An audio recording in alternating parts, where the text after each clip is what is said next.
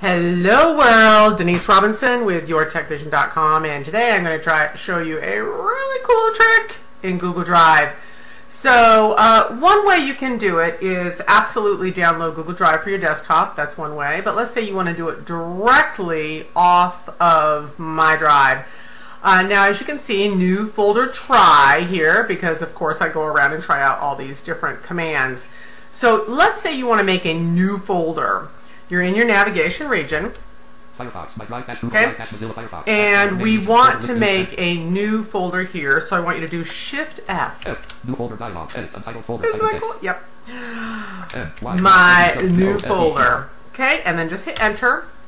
Enter. Is always the default Delete Google Drive folder for saying okay. I'm R8, 2016 and dash selected. 250. Okay, I want you to hit Enter and Open. And it's going to be empty. So then what I want you to do is hit your Applications kit, uh, Applications key. Applications.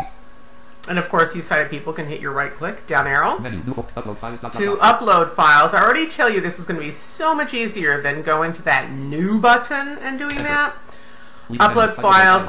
name, folder, edit combo. Here's my dialog box. So is all I have to do is uh, just type in whatever I want or shift tab to the list view and download those items and they automatically uh, download to Shift tab. Explorer pane. Shell folder view. I shift tab. Today expanded. Not selected. Kali, okay let's go ahead and do that one My new folder dash Google Drive dash Mozilla. And it uploads. Dialog. Zero. Maximize. Okay, that cool. I just love these phenomenal new tricks.